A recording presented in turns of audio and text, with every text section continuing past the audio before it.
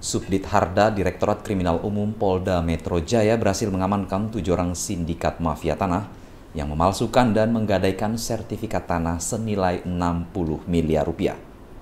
Kejahatan ini terbongkar ketika petugas pegadaian yang datang hendak menyita tanah yang digadaikan tersebut.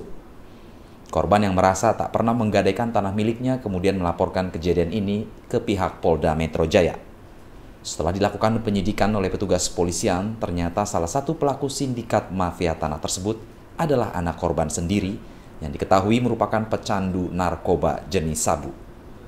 Kabit Humas Polda Metro Jaya Kombes Pol Yusri Yunus mengatakan sertifikat tersebut diambil oleh sang anak dari berangkas milik orang tuanya, kemudian dipalsukan yang dibantu oleh para pelaku sindikat mafia tanah yang kemudian digadaikan oleh sang anak senilai 3,7 miliar rupiah.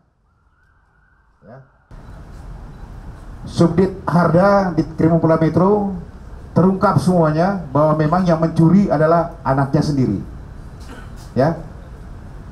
Termasuk karena memang anaknya ini bergerak minta tolong kepada jaringan mafia tanah pada saat itu.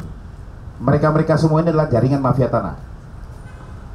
Termasuk perempuannya dalam pembuatan sertifikat pun bukan cuma sekali. Sudah pernah melakukan juga hal yang sama ini masih kita dalami semuanya. Ya. Dan sekarang tersangka berjumlah tujuh orang. Ini sudah kita lakukan penahanan. Ya.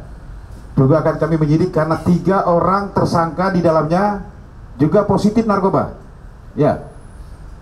ya. Mulai dari anaknya sendiri, kemudian pegawainya dan juga pesuruhnya. Dari Jakarta, Aulia Tribrata TV, salam Tribrata.